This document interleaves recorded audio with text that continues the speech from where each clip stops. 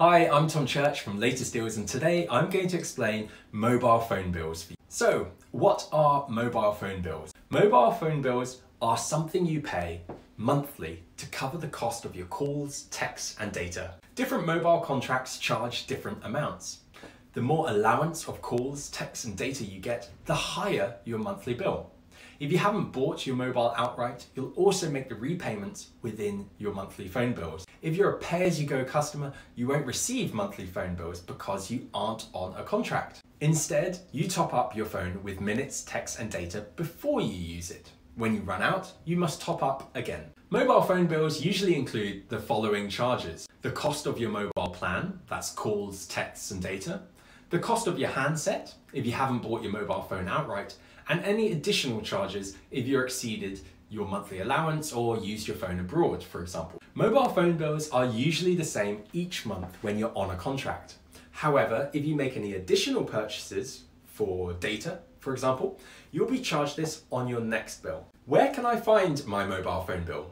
Here's how you can quickly and easily check your mobile phone bill online. Step one, go online. Open your web browser on your laptop, phone or tablet and head over to your mobile phone provider's website. Step 2. Log in to your account. On the front page of your provider's website, there should be somewhere to log in where you can enter your username and password. If you haven't set up an account yet, there should be a link where you can do so. Step 3. View your bill. Once you've logged into your account, you should see a link that either says make a payment or pay my bill or billing. You'll then be able to view your bill to see your usage and charges for the month you can then either log off or pay your bill. How can I pay my phone bill? There are so many different ways to pay your mobile phone bill, the most common way being by direct debit. Most people tend to pay their mobile phone bills via direct debit as it's so easy and you don't have to remember to pay each month. Usually, you'll set up a direct debit when you first begin your phone contract. However, you can set one up online if you haven't done so yet. You can also pay by debit or credit card by call or text online banking, or via check. Discuss your payment options with your mobile provider and choose one that suits your needs. What do you do if you've checked your bill and had a shock because it's so much more expensive than usual?